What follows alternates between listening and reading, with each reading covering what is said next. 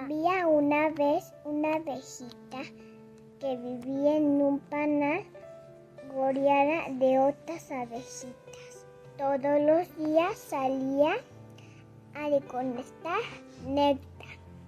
Un día escuchó que una voz le gritaba, ¡Aléjate! ¡Esta es mi flor! Al acercarse descubrió a una oruguita. La oruguita estaba muy enojada, así que la abejita le dijo, no me voy a comer tu flor, solo necesito el néctar. Y la oruguita contestó, ah, bueno, está bien. Así que la abejita y la oruguita, que eran diferentes, se volvieron amigas y les gustaba platicar todos los días. Día se murieron las plantitas y las flores.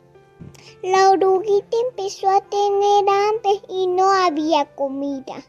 Así que su amiga la abejita voló hasta el panal.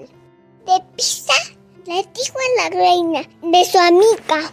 Pero las demás abejitas dijeron, no le vamos a compartir. Así que la reina era muy buena y pensó darle el polen. Así que la abejita le preguntó a la reina, ¿puedo compartirle de mi comida? La reina le dijo, ¡qué buena idea! Y qué buen corazón tienes. Así la abejita todos los días le daba de comer a su amiga. Así que su dejó atrás su corazón duro para convertirse en una gran mariposa. Así que recuerda, nuestras acciones pueden ponerle brillos a los corazones, ya no sean de pierda. Y colorín diocesano, este cuento se ha terminado. Sueña con Dios.